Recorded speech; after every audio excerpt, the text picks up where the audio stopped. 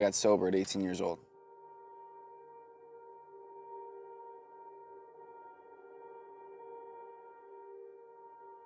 I just always felt off, man. There was always something wrong. There was always something that, that wasn't right inside of me, and I didn't know what it was. I couldn't figure out what it was. So I wanted to be cool, you know. I start, I stopped hanging out with my with my friends in junior high, and I started hanging out with my sister.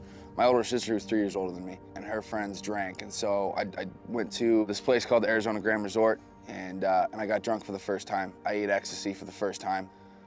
I knew at that point that like I could not do ecstasy forever. I had heard what happened to people that did ecstasy all the time.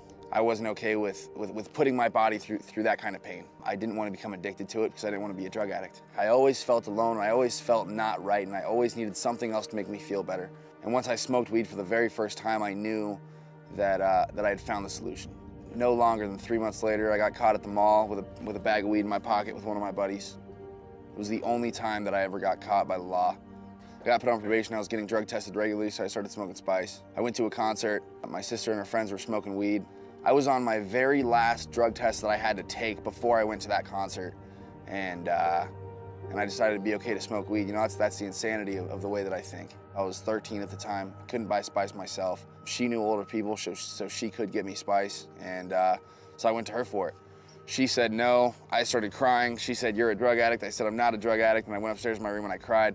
She came upstairs to my room a couple hours later and said, hey, come into the garage, I want to show you something. So we go downstairs into the garage. She pulls me over to my dad's workbench. There's this tile on the workbench and it's got a debit card sitting right next to it. And I was like, all right, cool. Uh, debit card, money, like let's do this. You know what I mean? Like let's go get high. She was like, no, it's not what it's for. She picked it up. She scraped on the tie a little bit and there was just this bluish white powder. I had no idea what it was. For all I know, it could have been a powdered bleach. And she lined it up. I said, I'm not gonna do that. She said, I'm gonna do this half, you're gonna do this half. And I said, all right, cool, let's do it. So I did my first line of Oxycontin 80 that day, 13 years old. I went upstairs to my room and I nodded off. I was drooling all over myself. And, uh, and I came to, and there was a couple thoughts that ran through my mind, and what that looked like was like, this is incredible, um, and I'm probably gonna do this for the rest of my life. Um, and then it was like, I love this way too much, and, and I, I can never do this normally. It's not something that I'm gonna be able to do. You know, this, this is going to kill me, you know? And it was at that moment that I knew that like there was definitely a problem. I told myself that I was never gonna do that ever again. I was never gonna do drugs ever again. I was just gonna smoke weed. I found myself downstairs that tile, scraping the tile off the tile, trying to get high, man. It became an everyday thing. I started going downstairs and stealing my dad's pills, Oxy 80s, Oxy 30s. And one day I came across uh, $1,000 cash. I stole $400 out of that and I went and bought a bunch of beer and a lot of weed. My plan was to sell that weed and just, just put the money back. My dad found out. Um, he went downstairs to go grab that money to go grocery shopping, and it was done, man. He came upstairs and he he ripped me a new one, man. It was uh, it was never like a physical thing. It was always just like a verbal type thing, man. It was always just, what the fuck are you doing, dude? You know, what are you doing with your life? Why are you doing this? Why are you lying to me? Do not lie to me. He kept asking me where the money is, and I said, I don't know where the money is. I don't have it, you know? And that was the truth to an extent, right? I did not have the money anymore. It was absolutely gone, and there was nothing that I could do to get it back. And that was like the first time that, that I really felt the shame, guilt, and remorse of what I have done, you know, of what I had gotten myself into. I was lying, cheating, stealing, manipulating, doing whatever it took to get high. I was stealing from stores, I was stealing from family, mostly family, man. I, I would always go into my dad's room and steal cash from him. I would always steal all of his quarters and take them and cash them in just so I could get high. And then it became a thing where um, me and my dad would get high together. He would need me to get pills for him, and so I would get pills for him and it just turned into a thing where like we, we would just get high together. It made it a lot easier that way. I didn't have to lie, cheat, steal, or manipulate him, you know? We're going to pick up these pills and we get there and dude's like, dude goes in with the money, comes out, didn't have the money anymore, but he had something and uh, that something happened to be heroin. I tried heroin for the very first time that day at 14 years old, sitting in the back seat of my sister's PT Cruiser. I remember looking at it and I remember hearing about heroin and how it was gonna kill me. And, uh, and I just didn't want to do it. It scared the shit out of me, man. I smoked it for the first time. I took one hit of it and I told myself I was not gonna do it. Um, and I hopped out of the car. I fucking threw up everywhere, man. Um, got right back in the car. The same thoughts popped in my head and what that looked like was, I can never do this again. And that, and that wasn't the case. I, I jumped right back in the car. My, the very first thing that I said was, can I have another hit? You know what I mean? Give me another hit. Pills got too expensive. Heroin was cheaper.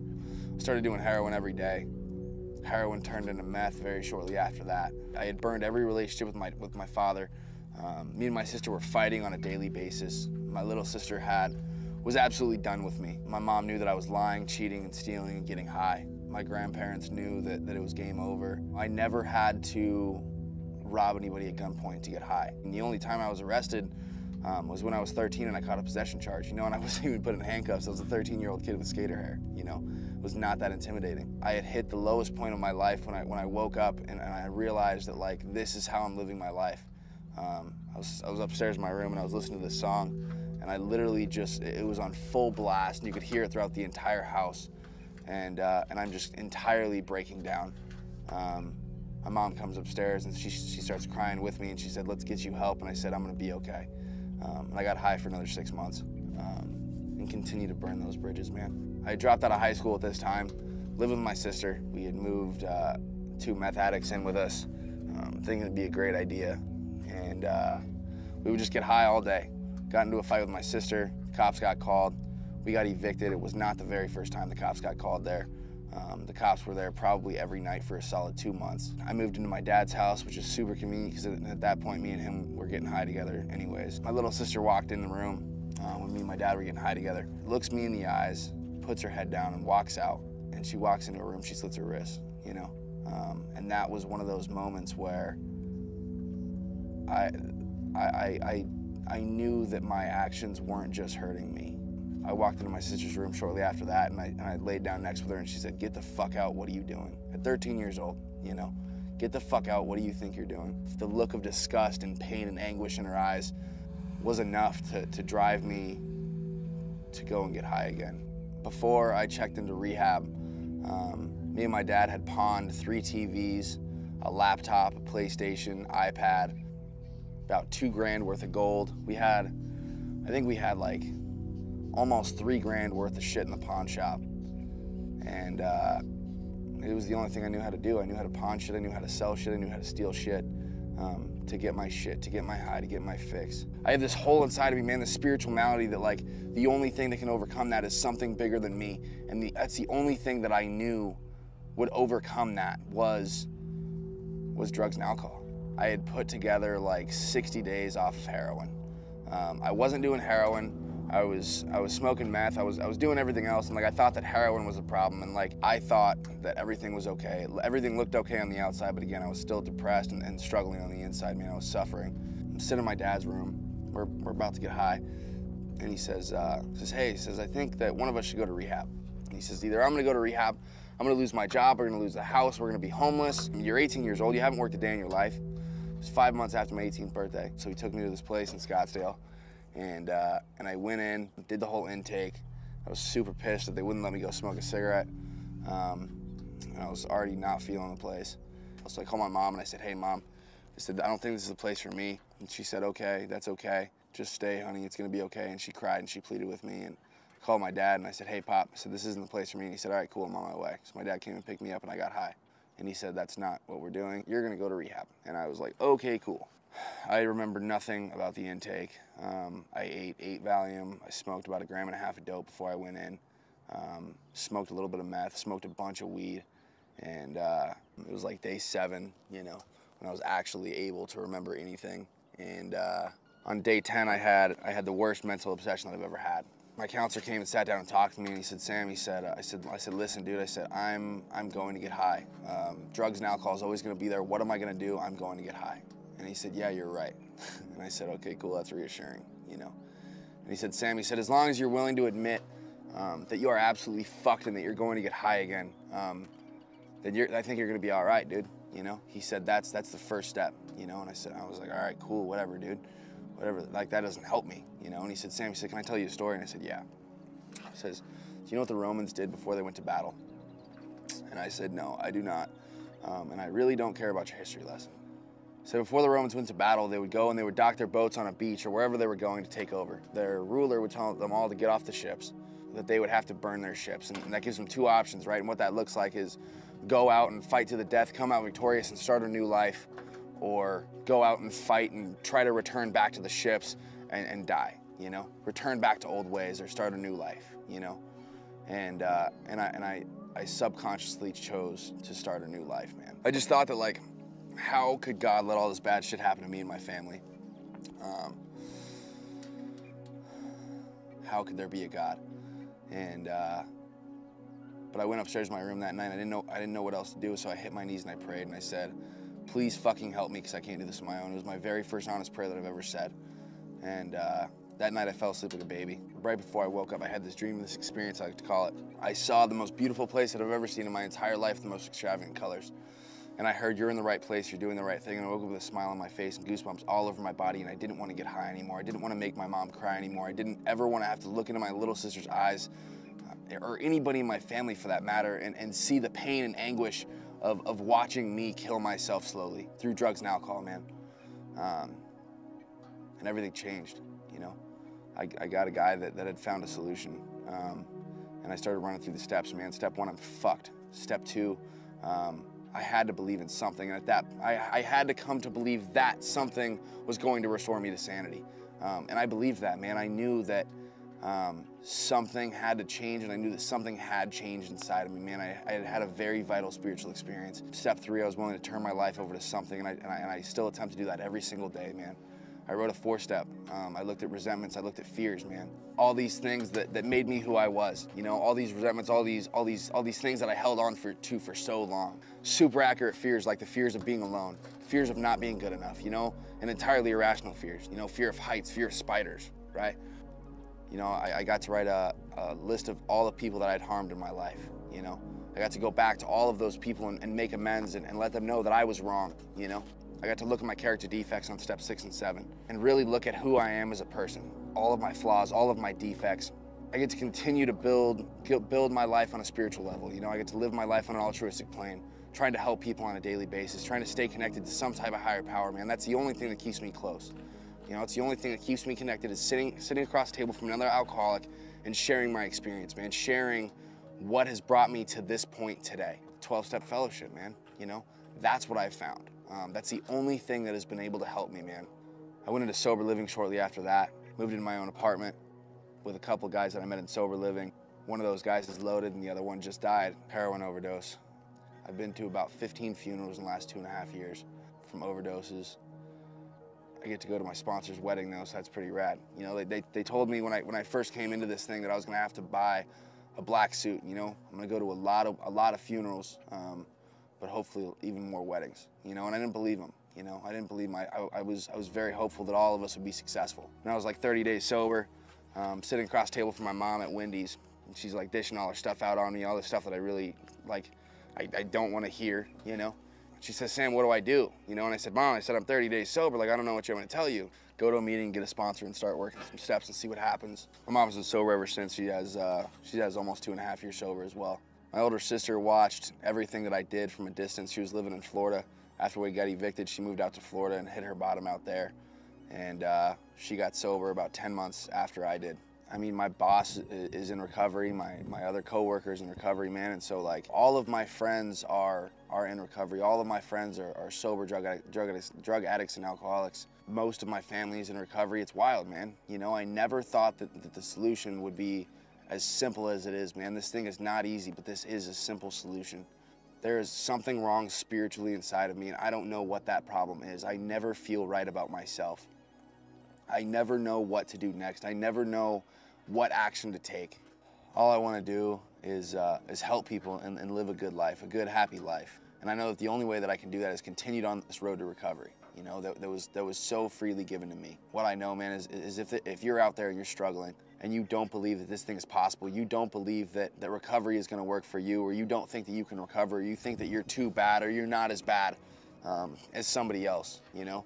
You can recover if you're willing to recover. If you're ready to recover, if you are willing to recover, um, then you will recover. It's as simple as that. You know, there is a solution, man. Um, there is a solution. All you have to do is take a few simple steps to get to the place that you want to go to achieve every single one of your goals in your life. I never thought that was going to be possible for a kid like me. I'm 20 years old, man, and I, I have almost two and a half years sober.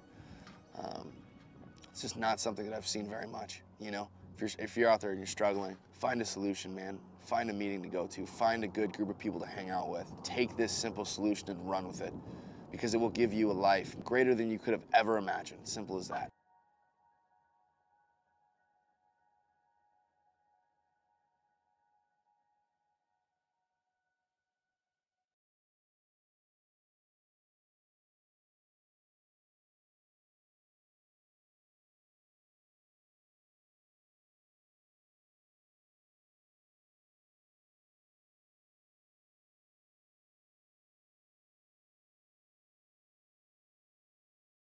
I got to look at my character defects on step six and seven and really look at who I am as a person, all of my flaws, all of my defects. I get to continue to build, build my life on a spiritual level. You know, I get to live my life on an altruistic plane, trying to help people on a daily basis, trying to stay connected to some type of higher power, man. That's the only thing that keeps me close. You know, it's the only thing that keeps me connected is sitting, sitting across the table from another alcoholic and sharing my experience, man, sharing what has brought me to this point today. 12-step fellowship, man, you know, that's what I've found. Um, that's the only thing that has been able to help me, man. I went into sober living shortly after that, moved into my own apartment with a couple guys that I met in sober living. One of those guys is loaded and the other one just died, heroin overdose. I've been to about 15 funerals in the last two and a half years from overdoses. I get to go to my sponsor's wedding though, so that's pretty rad. You know, they, they, they told me when I, when I first came into this thing that I was gonna have to buy a black suit, you know? I'm gonna go to a lot of, a lot of funerals. Um, but hopefully even more weddings, you know, and I didn't believe him. You know, I didn't believe my, I, I was, I was very hopeful that all of us would be successful. And I was like 30 days sober, um, sitting across the table from my mom at Wendy's, and she's like dishing all her stuff out on me, all the stuff that I really, like, I, I don't want to hear, you know? She says, Sam, what do I do? You know, and I said, Mom, I said, I'm 30 days sober. Like, I don't know what you're going to tell you. Go to a meeting, get a sponsor, and start working some steps and see what happens. My mom's been sober ever since. She has, uh, she has almost two and a half years sober as well. My older sister watched everything that I did from a distance. She was living in Florida. After we got evicted, she moved out to Florida and hit her bottom out there. And uh, she got sober about 10 months after I did. I mean, my boss is in recovery. My, my other coworkers in recovery, man. And so, like, all of my friends are are in recovery. All of my friends are, are sober drug, drug, addicts, drug addicts and alcoholics. Most of my family is in recovery. It's wild, man. You know, I never thought that, that the solution would be as simple as it is, man. This thing is not easy, but this is a simple solution. There is something wrong spiritually inside of me, and I don't know what that problem is. I never feel right about myself. I never know what to do next. I never know what action to take. All I want to do is, uh, is help people and, and live a good life, a good, happy life. And I know that the only way that I can do that is continued on this road to recovery. You know, that, that was that was so freely given to me. What I know, man, is, is if, if you're out there and you're struggling, and you don't believe that this thing is possible, you don't believe that, that recovery is going to work for you, or you don't think that you can recover, you think that you're too bad, or you're not as bad um, as somebody else, you know? You can recover if you're willing to recover. If you're ready to recover, if you are willing to recover, um, then you will recover. It's as simple as that. You know, there is a solution, man. Um, there is a solution. All you have to do is take a few simple steps to get to the place that you want to go to achieve every single one of your goals in your life. I never thought that was going to be possible for a kid like me. I'm 20 years old, man, and I, I have almost two and a half years sober. Um, it's just not something that I've seen very much, you know? If you're, if you're out there and you see my dad, we're getting high together, looks me in the eyes, puts her head down and walks out. And she walks into a room, she slits her wrist, you know? Um, and that was one of those moments where I, I, I, I knew that my actions weren't just hurting me. I walked into my sister's room shortly after that and I, and I laid down next with her and she said, get the fuck out, what are you doing? At 13 years old, you know, get the fuck out, what do you think you're doing? The look of disgust and pain and anguish in her eyes was enough to, to drive me to go and get high again. Before I checked into rehab, um, me and my dad had pawned three TVs, a laptop, a PlayStation, iPad, about two grand worth of gold. We had, I think we had like almost three grand worth of shit in the pawn shop. And uh, it was the only thing I knew how to do. I knew how to pawn shit, I knew how to sell shit, I knew how to steal shit um, to get my shit, to get my high, to get my fix. I have this hole inside of me, man, this spiritual malady that like the only thing that can overcome that is something bigger than me. And the, that's the only thing that I knew would overcome that was, was drugs and alcohol. I had put together like 60 days off of heroin. Um, I wasn't doing heroin. I was I was smoking meth. I was I was doing everything else, and like I thought that heroin was a problem, and like I thought that everything was okay. Everything looked okay on the outside, but again, I was still depressed and, and struggling on the inside. Man, I was suffering. I'm sitting in my dad's room. We're we're about to get high, and he says uh, says Hey, he says I think that one of us should go to rehab. And he says either I'm gonna go to rehab, I'm gonna lose my job, we're gonna lose the house, we're gonna be homeless. You're 18 years old, you haven't worked a day in your life. It was five months after my 18th birthday, so he took me to this place in Scottsdale and uh, and I went in, did the whole intake. I was super pissed that they wouldn't let me go smoke a cigarette. Um, I was already not feeling the place. So I called my mom and I said, "Hey, mom," I said, "I don't think this is the place for me." And she said, "Okay, that's okay. Just stay, honey. It's gonna be okay." And she cried and she pleaded with me and called my dad and I said, "Hey, pop," I said, "This isn't the place for me." And he said, "All right, cool. I'm on my way." So my dad came and picked me up and I got high. And he said, "That's not what we're doing. You're gonna go to rehab." And I was like, "Okay, cool." I remember nothing about the intake. Um, I ate eight Valium. I smoked about a gram and a half of dope before I went in. Um, smoked a little bit of meth. Smoked a bunch of weed, and uh, it was like day seven. You know, when I was actually able to remember anything. And uh, on day ten, I had I had the worst mental obsession that I've ever had. My counselor came and sat down and talked to me, and he said, "Sam," he said, uh, "I said, I said, listen, dude. I said, I'm I'm going to get high. Um, drugs and alcohol is always going to be there. What am I going to do? I'm going to get high." And he said, Yeah, you're right. and I said, Okay, cool, that's reassuring, you know. And he said, Sam, he said, as long as you're willing to admit um, that you are absolutely fucked and that you're going to get high again, um, then you're, I think you're gonna be all right, dude. You know, he said that's that's the first step, you know. And I said, I was like, all right, cool, whatever, dude, whatever. Like that doesn't help me, you know. And he said, Sam, he said, can I tell you a time? I wasn't okay with, with, with putting my body through, through that kind of pain. I didn't want to become addicted to it because I didn't want to be a drug addict. I always felt alone, I always felt not right, and I always needed something else to make me feel better. And once I smoked weed for the very first time, I knew that, uh, that I had found the solution. No longer than three months later, I got caught at the mall with a, with a bag of weed in my pocket with one of my buddies. It was the only time that I ever got caught by the law. I got put on probation. I was getting drug tested regularly, so I started smoking spice. I went to a concert. My sister and her friends were smoking weed. I was on my very last drug test that I had to take before I went to that concert. And, uh, and I decided to be okay to smoke weed. You know, that's, that's the insanity of, of, the way that I think. I was 13 at the time, couldn't buy spice myself. She knew older people, so, so she could get me spice. And uh, so I went to her for it. She said no. I started crying. She said, you're a drug addict. I said, I'm not a drug addict. And I went upstairs to my room and I cried. She came upstairs to my room a couple hours later and said, hey, come into the garage, I want to show you something. So we go downstairs into the garage. She pulls me over to my dad's workbench. There's this tile on the workbench and it's got a debit card sitting right next to it. And I was like, all right, cool. Uh, debit card, money, like let's do this. You know what I mean? Like let's go get high. She was like, no, it's not what it's for. She picked it up. She scraped on the tile a little bit and there was just this bluish white powder. I had no idea what it was. For all I know, it could have been a powdered bleach. And she lined it up. I said, I'm not gonna do that. She said, I'm gonna do this half, you're gonna do this half. And I said, all right, cool, let's do it.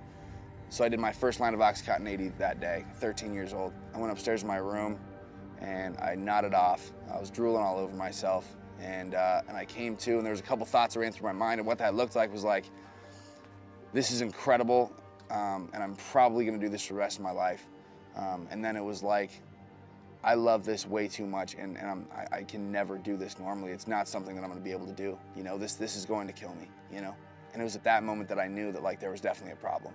I told myself that I was never gonna do that ever again. I was never gonna do drugs ever again. I was just gonna smoke weed. I found myself downstairs at that tile, scraping the tile off the tile, trying to get high, man. It became an everyday thing. I started going downstairs and stealing my dad's pills, Oxy 80s, Oxy 30s. And one day I came across uh, $1,000 cash. I stole $400 out of that and I went and bought a bunch of beer and a lot of weed. My plan was to sell that weed and just, just put the money back. My dad found out. Um, he went downstairs to go grab that money to go grocery shopping, and it was done, man. He came upstairs and he he ripped me a new one, man. It was uh, it was never like a physical thing. It was always just like a verbal type thing, man. It was always just, what the fuck are you doing, dude? You know, what are you doing with your life? Why are you doing this? Why are you lying to me? Do not lie to me he kept asking me where the money is, and I said, I don't know where the money is. I don't have it. You know, and that was the truth to an extent, right? I did not have the money anymore. It was absolutely gone, and there was nothing that I could do to get it back. And that was like the first time I him in, just so I could get high. And then it became a thing where um, me and my dad would get high together. He would need me to get pills for him, and so I would get pills for him. And it just turned into a thing where like we, we would just get high together. It made it a lot easier that way. I didn't have to lie, cheat, steal, or manipulate him, you know? We're going to pick up these pills and we get there and dude's like, dude goes in with the money, comes out, didn't have the money anymore, but he had something. And uh, that something happened to be heroin. I tried heroin for the very first time that day at 14 years old, sitting in the back seat of my sister's PT Cruiser. I remember looking at it and I remember hearing about heroin and how it was gonna kill me. And, uh, and I just didn't wanna do it. it. It scared the shit out of me, man. I smoked it for the first time. I took one hit of it and I told myself I was not gonna do it. Um, and I hopped out of the car. I fucking threw up everywhere, man. Um, got right back in the car. The same thoughts popped in my head, and what that looked like was, I can never do this again. And that, and that wasn't the case. I, I jumped right back in the car. My the very first thing that I said was, "Can I have another hit?" You know what I mean? Give me another hit. Pills got too expensive. Heroin was cheaper. Started doing heroin every day. Heroin turned into meth very shortly after that. I had burned every relationship with my with my father. Um, me and my sister were fighting on a daily basis. My little sister had was absolutely done with me. My mom knew that I was lying, cheating, and stealing and getting high. My grandparents knew that, that it was game over. I never had to rob anybody at gunpoint to get high. And the only time I was arrested um, was when I was 13 and I caught a possession charge, you know, and I wasn't even put in handcuffs. I was a 13 year old kid with skater hair, you know. It was not that intimidating. I had hit the lowest point of my life when I, when I woke up and, and I realized that, like, this is how I'm living my life. Um, I, was, I was upstairs in my room and I was listening to this song and I literally just, it was on full blast, and you could hear it throughout the entire house. And, uh, and I'm just entirely breaking down. Um, my mom comes upstairs and she, she starts crying with me, and she said, let's get you help. And I said, I'm gonna be okay. Um, and I got high for another six months um, and continue to burn those bridges, man. I dropped out of high school at this time, lived with my sister. We had moved uh, two meth addicts in with us, um, thinking it'd be a great idea. And uh, we would just get high all day. Got into a fight with my sister. Cops got called. We got evicted. It was not the very first time the cops got called there. Um, the cops were there probably every night for a solid two months. I moved into my dad's house, which is super convenient because at that point, me and him were getting high together anyways. My little sister walked in the room uh, when me and my dad were getting high together, looks me in the eyes, puts her head down and walks out. And she walks into a room, she slits her wrist, you know? Um, and that was one of those moments where I, I, I I knew that my actions weren't just hurting me. I walked into my sister's room shortly after that and I, and I laid down next with her and she said, Get the fuck out, what are you doing? At 13 years old, you know, get the fuck out, what do you think you're doing? The look of disgust and pain and anguish in her eyes was enough to, to drive me, came and picked me up and I got high. And he said, That's not what we're doing. You're gonna go to rehab. And I was like, Okay, cool. I remember nothing about the intake. Um, I ate eight Valium. I smoked about a gram and a half of dope before I went in. Um, smoked a little bit of meth, smoked a bunch of weed, and uh, it was like day seven, you know, when I was actually able to remember anything. And uh, on day 10, I had I had the worst mental obsession that I've ever had.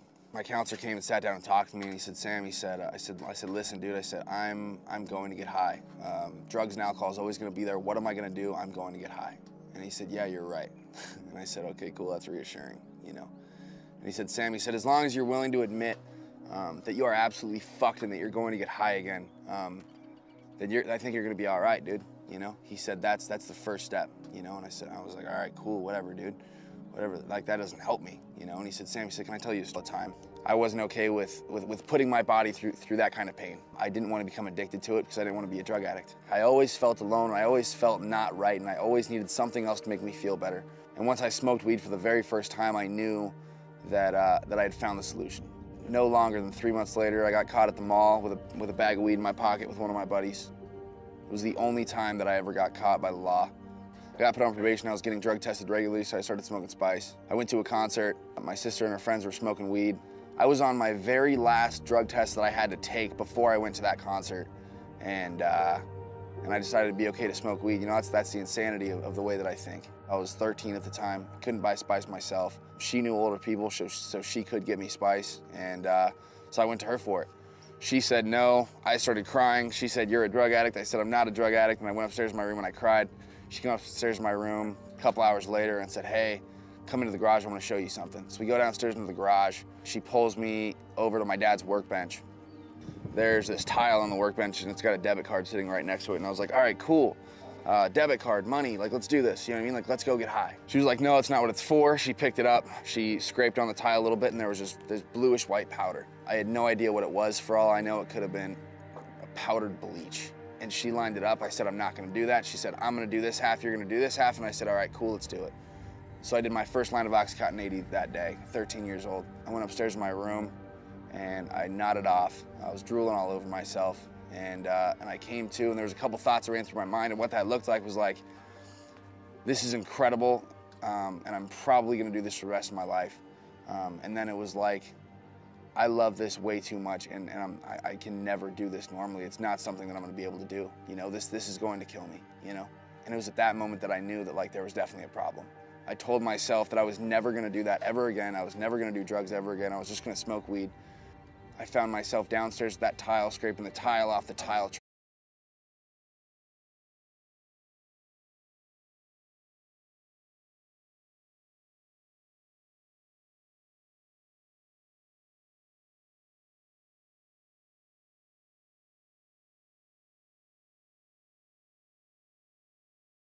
I got to look at my character defects on step six and seven and really look at who I am as a person. All of my flaws, all of my defects. I get to continue to build, build my life on a spiritual level. You know, I get to live my life on an altruistic plane, trying to help people on a daily basis, trying to stay connected to some type of higher power, man. That's the only thing that keeps me close. You know, it's the only thing that keeps me connected is sitting, sitting across the table from another alcoholic and sharing my experience, man, sharing what has brought me to this point today. 12-step fellowship, man, you know, that's what I've found. Um, that's the only thing that has been able to help me, man. I went into sober living shortly after that, moved into my own apartment with a couple guys that I met in sober living. One of those guys is loaded and the other one just died, heroin overdose. I've been to about 15 funerals in the last two and a half years from overdoses. I get to go to my sponsor's wedding though, so that's pretty rad. You know, they, they, they told me when I, when I first came into this thing that I was gonna have to buy a black suit, you know? I'm gonna go to a lot of, a lot of funerals. Um, but hopefully even more weddings, you know, and I didn't believe them, you know, I didn't believe my, I, I was, I was very hopeful that all of us would be successful. And I was like 30 days sober, um, sitting across the table from my mom at Wendy's, and she's like dishing all her stuff out on me, all the stuff that I really, like, I, I don't want to hear, you know. She says, Sam, what do I do? You know, and I said, Mom, I said, I'm 30 days sober. Like, I don't know what you're going to tell you. Go to a meeting, get a sponsor, and start working some steps and see what happens. My mom's been sober ever since. She has, uh, she has almost two and a half years sober as well. My older sister watched everything that I did from a distance. She was living in Florida. After we got evicted, she moved out to Florida and hit her bottom out there.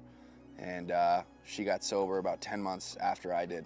I mean, my boss is in recovery. My, my other coworkers in recovery, man. And so, like, all of my friends are are in recovery. All of my friends are, are sober drug, drug, addicts, drug addicts and alcoholics. Most of my family is in recovery. It's wild, man. You know, I never thought that, that the solution would be as simple as it is, man. This thing is not easy, but this is a simple solution. There is something wrong spiritually inside of me, and I don't know what that problem is. I never feel right about myself. I never know what to do next. I never know what action to take.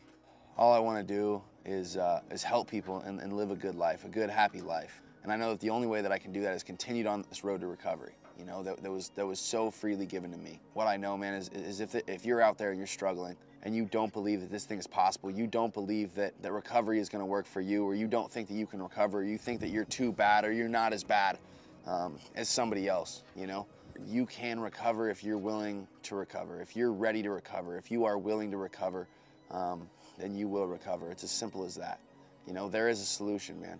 She got sober about 10 months after I did. I mean, my boss is in recovery. My, my other coworkers in recovery, man. And so, like, all of my friends are are in recovery. All of my friends are, are sober drug, drug, addicts, drug addicts and alcoholics. Most of my family is in recovery. It's wild, man. You know, I never thought that, that the solution would be as simple as it is, man. This thing is not easy, but this is a simple solution. There is something wrong spiritually inside of me, and I don't know what that problem is. I never feel right about myself. I never know what to do next. I never know what action to take.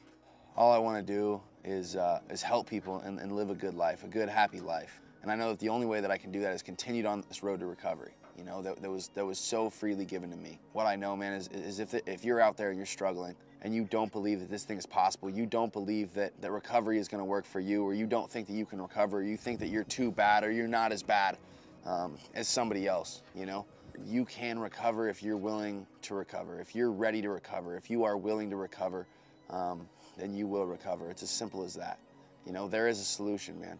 Um, there is a solution. All you have to do is take a few simple steps to get to the place that you want to go to achieve every single one of your goals in your life. I never thought that was going to be possible for a kid like me. I'm 20 years old, man, and I, I have almost two and a half years sober. Um, it's just not something that I've seen very much, you know? If you're, if you're out there and you see my dad, we're getting high together, looks me in the eyes, puts her head down and walks out. And she walks into a room, she slits her wrist, you know? Um, and that was one of those moments where I, I, I, I knew that my actions weren't just hurting me. I walked into my sister's room shortly after that and I, and I laid down next with her and she said, get the fuck out, what are you doing? At 13 years old, you know, get the fuck out, what do you think you're doing? The look of disgust and pain and anguish in her eyes was enough to, to drive me to go and get high again. Before I checked into rehab, um, me and my dad had pawned three TVs, a laptop, a PlayStation, iPad, about two grand worth of gold. We had, I think we had like almost three grand worth of shit in the pawn shop. And uh, it was the only thing I knew how to do. I knew how to pawn shit, I knew how to sell shit, I knew how to steal shit um, to get my shit, to get my high, to get my fix. I have this hole inside of me, man, this spiritual malady that like the only thing that can overcome that is something bigger than me. And the, that's the only thing that I knew would overcome that was, was drugs and alcohol. I had put together like 60 days off of heroin. Um, I wasn't doing heroin. I was I was smoking meth. I was I was doing everything else, and like I thought that heroin was a problem, and like I thought that everything was okay. Everything looked okay on the outside, but again, I was still depressed and, and struggling on the inside. Man, I was suffering. I'm sitting in my dad's room. We're we're about to get high, and he says uh, says Hey, he says I think that one of us should go to rehab. Through that kind of pain, I didn't want to become addicted to it because I didn't want to be a drug addict. I always felt alone. I always felt not right, and I always needed something else to make me feel better. And once I smoked weed for the very first time, I knew that, uh, that I had found the solution. No longer than three months later, I got caught at the mall with a, with a bag of weed in my pocket with one of my buddies. It was the only time that I ever got caught by the law. I got put on probation, I was getting drug tested regularly, so I started smoking spice. I went to a concert, my sister and her friends were smoking weed. I was on my very last drug test that I had to take before I went to that concert.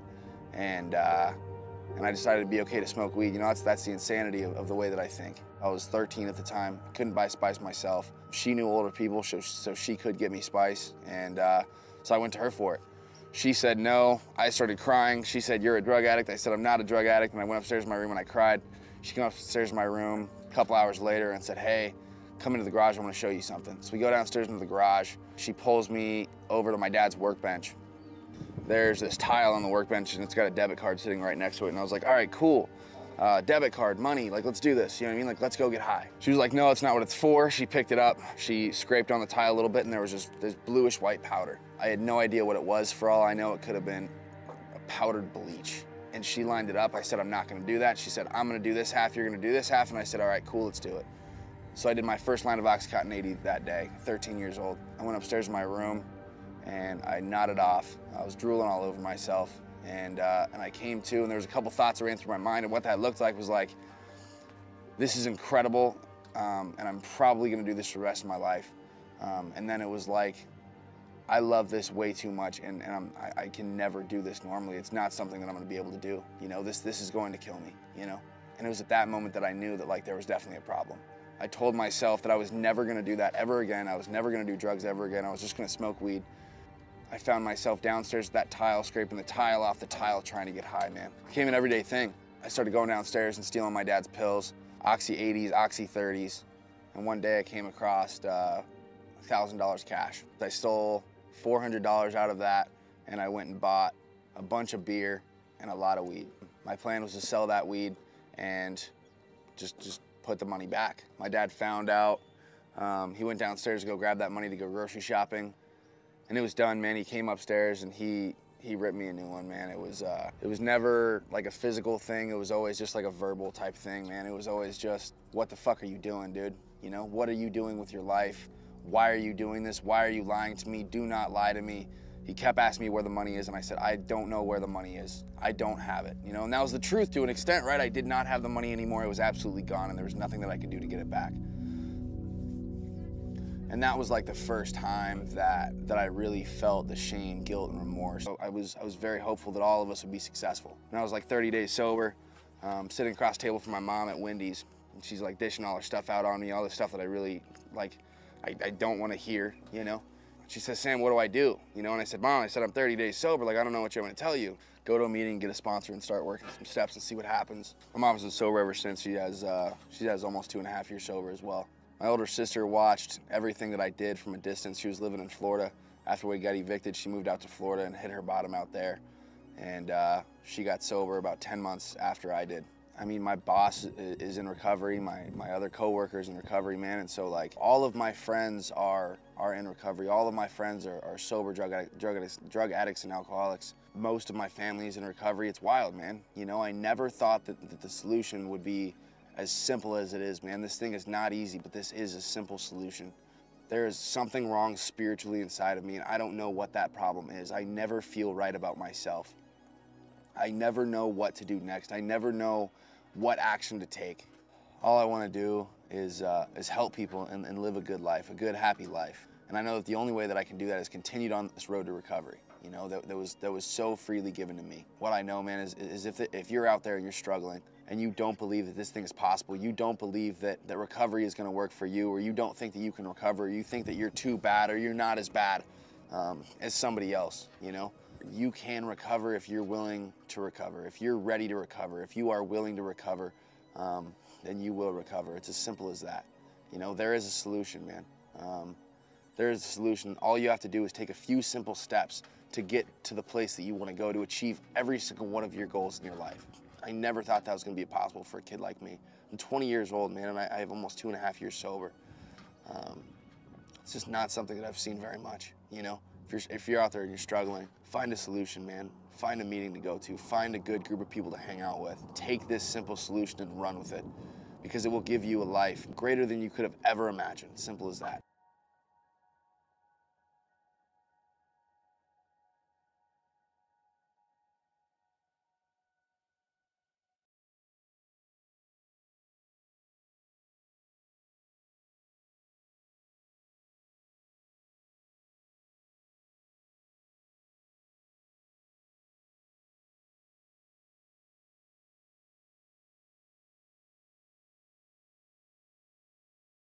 I got to look at my character defects on step six and seven and really look at who I am as a person, all of my flaws, all of my defects. I get to continue to build, build my life on a spiritual level. You know, I get to live my life on an altruistic plane, trying to help people on a daily basis, trying to stay connected to some type of higher power, man. That's the only thing that keeps me close. You know, it's the only thing that keeps me connected is sitting, sitting across the table from another alcohol, definitely a problem. I told myself that I was never gonna do that ever again. I was never gonna do drugs ever again. I was just gonna smoke weed. I found myself downstairs at that tile, scraping the tile off the tile, trying to get high, man. It became an everyday thing. I started going downstairs and stealing my dad's pills, Oxy 80s, Oxy 30s. And one day I came across uh, $1,000 cash. I stole $400 out of that and I went and bought a bunch of beer and a lot of weed. My plan was to sell that weed and just, just put the money back. My dad found out. Um, he went downstairs to go grab that money to go grocery shopping and it was done, man. He came upstairs and he he ripped me a new one, man. It was uh, it was never like a physical thing. It was always just like a verbal type thing, man. It was always just, what the fuck are you doing, dude? You know, what are you doing with your life? Why are you doing this? Why are you lying to me? Do not lie to me. He kept asking me where the money is, and I said, I don't know where the money is. I don't have it. You know, and that was the truth to an extent, right? I did not have the money anymore. It was absolutely gone, and there was nothing that I could do to get it back. And that was like the first time, man just so I could get high. And then it became a thing where um, me and my dad would get high together. He would need me to get pills for him, and so I would get pills for him.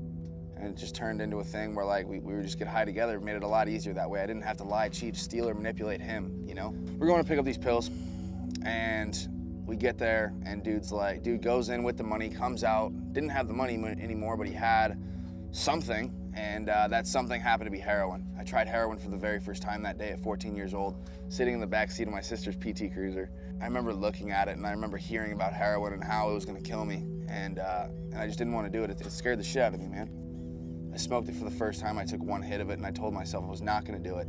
Um, and I hopped out of the car. I fucking threw up everywhere, man. Um, got right back in the car. The same thoughts popped in my head, and what that looked like was, I can never do this again. And that, and that wasn't the case. I, I jumped right back in the car. My the very first thing that I said was, "Can I have another hit? You know what I mean? Give me another hit."